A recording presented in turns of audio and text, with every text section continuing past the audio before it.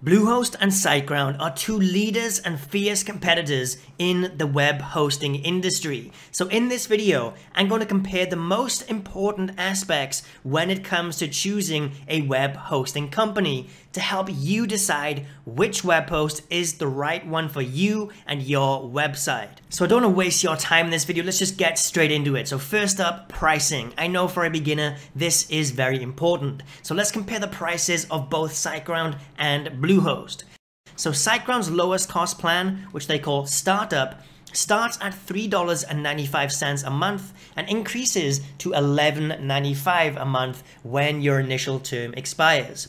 Bluehost, on the other hand, their lowest cost plan, Basic, starts at $2.95 a month, $1 cheaper than SiteGround, and increases to $7.99 a month when your initial term expires, which is nearly $4 cheaper than SiteGround. So if you are looking for the best prices, the lowest possible prices, Bluehost definitely wins here. Some of you may also be wondering about the money back guarantee that both of these web hosts have. So SiteGround's money back guarantee is 30 days, but that only applies to shared web hosting, i.e. not for domain names, WHOIS privacy, cloud and dedicated hosting, paid support, or third-party services. It is literally only the shared web hosting that you can get refunded. Any extras uh, will not be refunded. So you can have a credit applied to your account or it can be refunded back to your credit card. The choice is yours.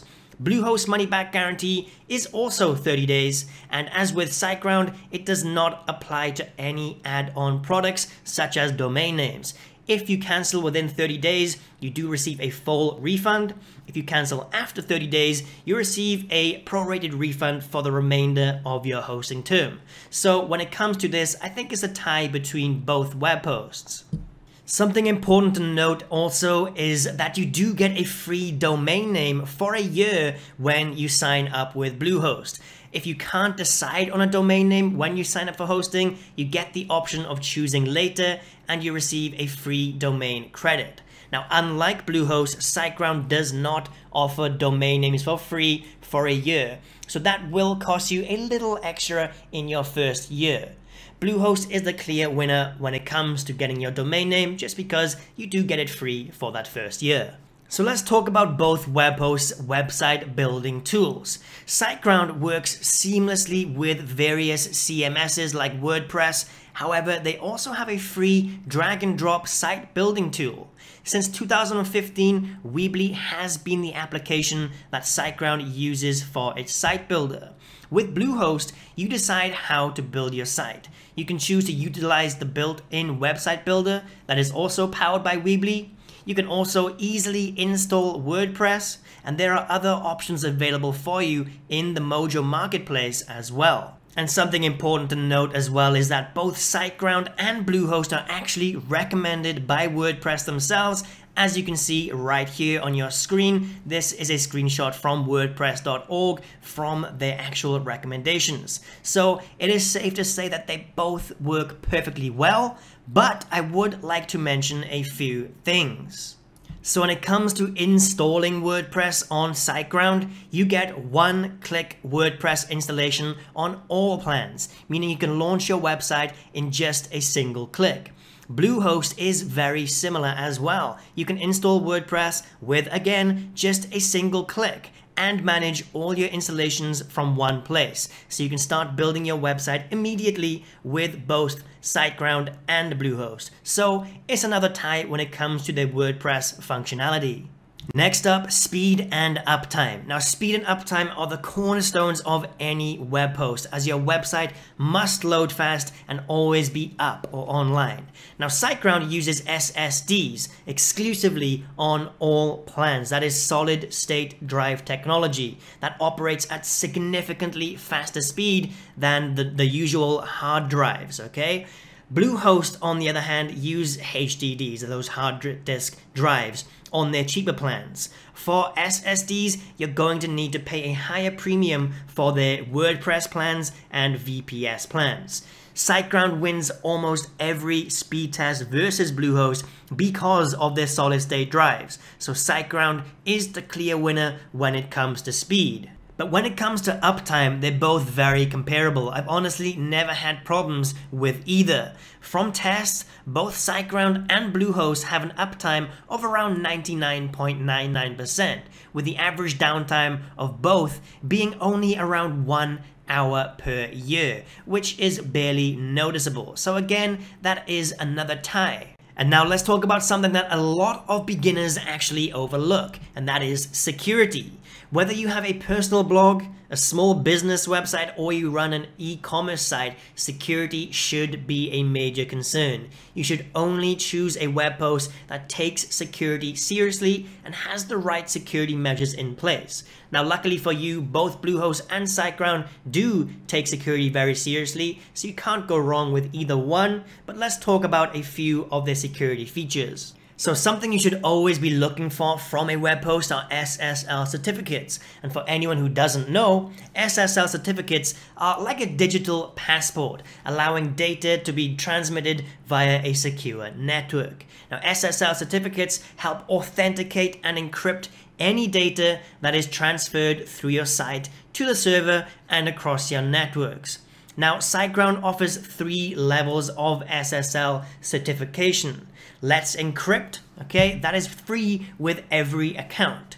Let's Encrypt Wildcard, this is also free with every account. And then we have EV SSL, which will cost you for anywhere from $499 per year. Now that's not something you're gonna need to, need to worry about just yet.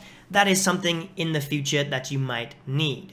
Bluehost provides a free shared SSL that is available to accounts which reside on a shared IP.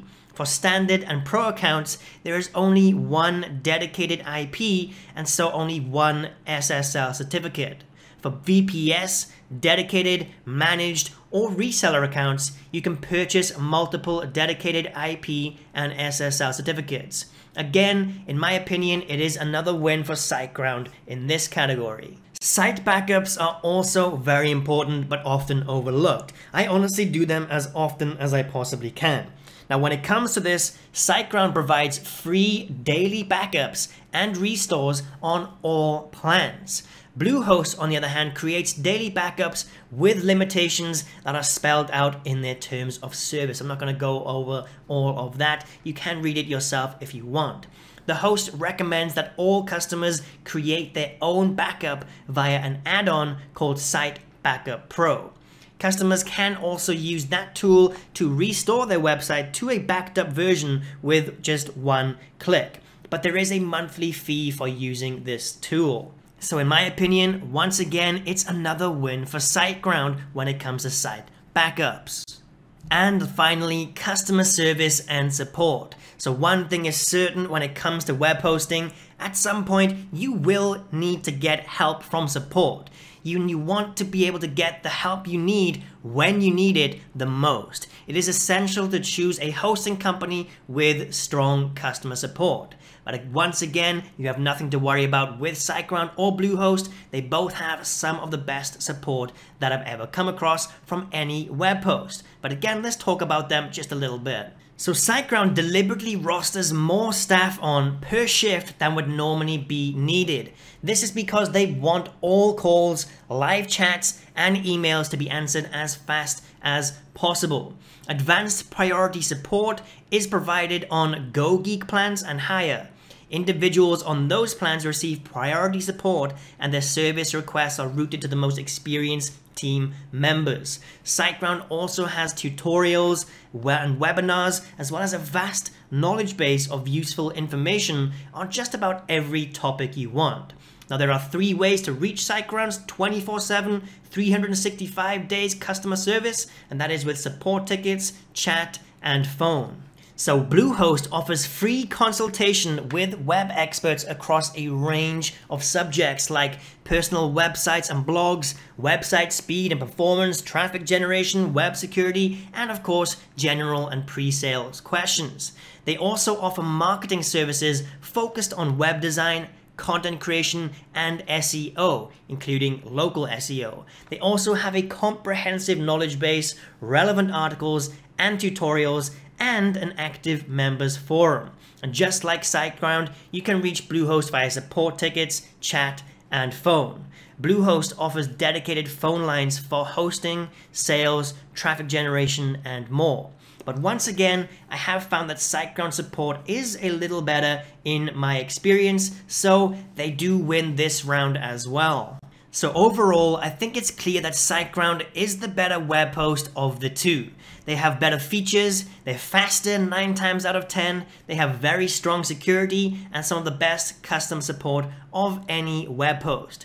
Bluehost also has great features, fast load times, decent security, and great customer support, but not quite as good as SiteGround in my opinion. However, do not forget that Bluehost is the cheaper option, so these results should be expected. Now it's up to you whether or not the small price difference is worth it to you or not. So there you have it. That is my comparison between SiteGround and Bluehost. I hope you found this video helpful. If you did, please do not forget to give the video a like, subscribe to the channel for more content just like this, and please comment down below letting me know your thoughts on these web hosts, and if you want to see any videos comparing any other web hosts, comment that down below as well. Now, if you are interested in signing up to either Bluehost or SiteGround, I will have some links in the description down below. These links are exclusive links for my viewers only, and they will be updated with the best current prices.